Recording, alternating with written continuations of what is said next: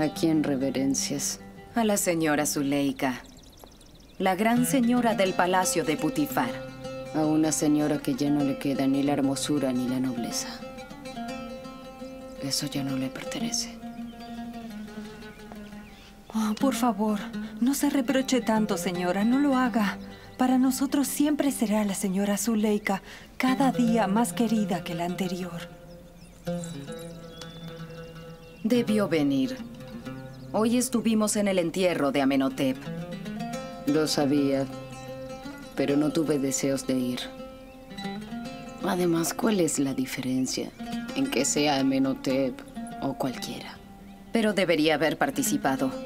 Todas las mujeres nobles estaban allí. Dentro de mi corazón siempre hay luto. No soporto la tristeza de los demás.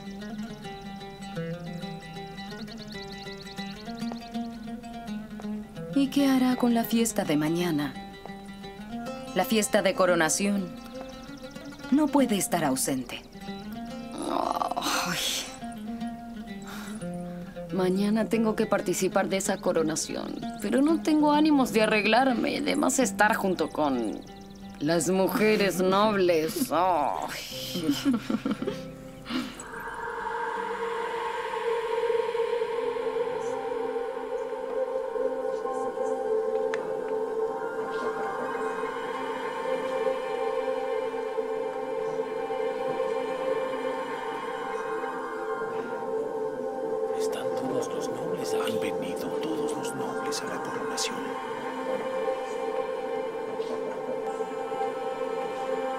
¿Has notado quiénes están allí? Nunca imaginé ver una ceremonia así, impactante.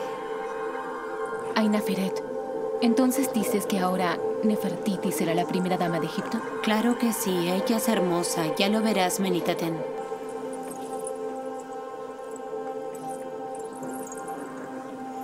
¿Es Zuleika la que luce tan mal? ¿Ves lo que ha hecho consigo misma?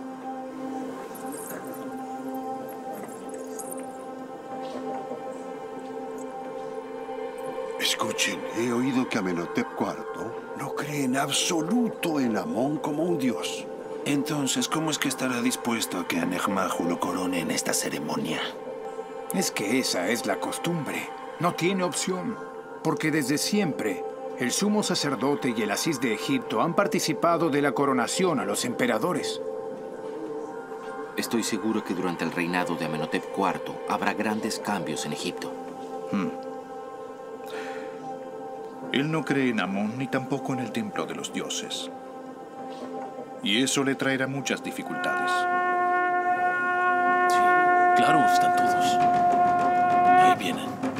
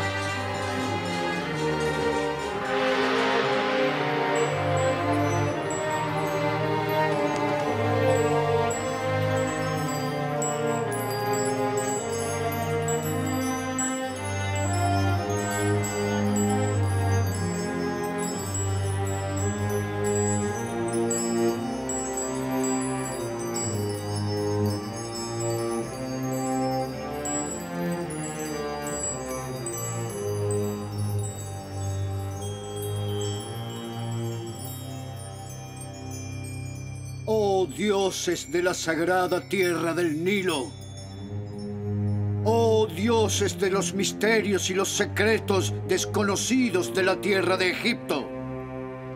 Oh Amón, Dios de los dioses, que otorgaste el poder supremo a los faraones, a los emperadores, santidad y fertilidad al Nilo, y la gloria a Egipto, y la estabilidad a las pirámides. Otorga a nuestro emperador, el joven Amenhotep IV, el poder de todos nuestros faraones, la fertilidad del sagrado Nilo, la grandeza de Egipto y la estabilidad de las pirámides. Y por favor, protégelo de todos sus enemigos y de todos aquellos que quieran o pretendan perturbar su camino. Y que siempre, desde el sur hasta el norte y desde el este hasta el oeste, ilumines su camino y tenga tu presencia y haz que todos los dioses lo iluminen y lo guíen.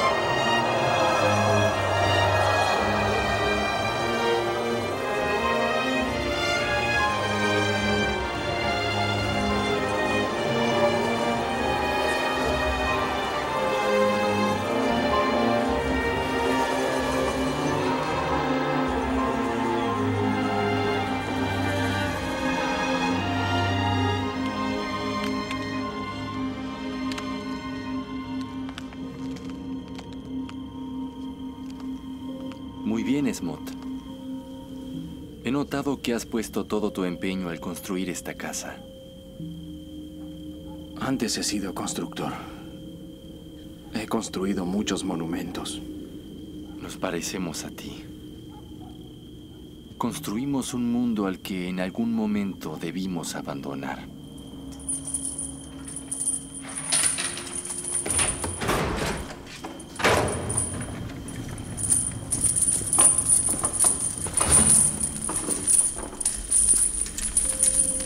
Una noticia importante. Siempre esas noticias tienen relación con la muerte. ¿Es así? Sí, es cierto. Sí. El tercer Amenhotep se fue al oeste y ahora el Amenhotep IV ha llegado al poder. Cuando estábamos vaciando la carga de pan y de comida, lo oímos de los soldados. El trono siempre va a ser el mismo. Solo cambia la gente que designan para que lo ocupe. Un día el primer Amenhotep, otro día el segundo, luego el tercero. Y ahora Amenhotep IV. Yo lo vi cuando era niño. Creo que es mejor que todos los demás. ¿Lo oyes, Smot?